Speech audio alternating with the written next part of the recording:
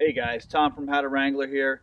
I wanted to do a quick video so I could introduce you guys to a new buddy that I met uh, who's doing some really great videos on Jeep mods on, on YouTube. Uh, his name is Dex. Uh, he's down in the Bahamas. I'm here in Connecticut freezing my ass off.